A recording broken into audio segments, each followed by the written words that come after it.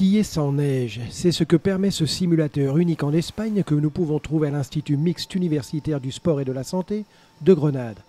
Un outil avec lequel il est possible d'apprendre à skier ou à faire du snowboard. Aprender a esquiar, perfeccionar la técnica o trabajar la preparación física esquiando, ¿de acuerdo? Es algo que durante 365 días al año. Cette infrastructure va bien plus loin que l'apprentissage grâce aux 8 caméras qui enregistrent depuis différents angles les skieurs en 2D et en 3D. Avec ces enregistrements, des analyses techniques beaucoup plus spécifiques peuvent être réalisées, comme l'ont pu constater des techniciens du centre technique spécialisé en sport d'hiver, dont la directrice sportive est la skieuse Caroline Ruiz. Puedes estar 30 minutos aquí entrenando eh, cuando normalmente el, el, tiempo efectivo que estás en, eh, en, la, en, la, pista, en la nieve, pues puede ser eh, 10 minutos. Entonces se multiplica todo ese trabajo.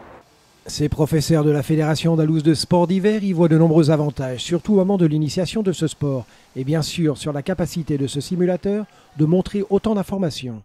A nivel de aprendizaje en cuanto a movimientos básicos de técnica base es bastante útil. Errores que tienes en nieve puedes trabajarlo aquí con mucho más feedback. Hacer un trabajo técnico de base muy analítico, eh, nos, digamos que avanzamos mucho y nos quita mucho trabajo luego en pista para poder hacer otras cosas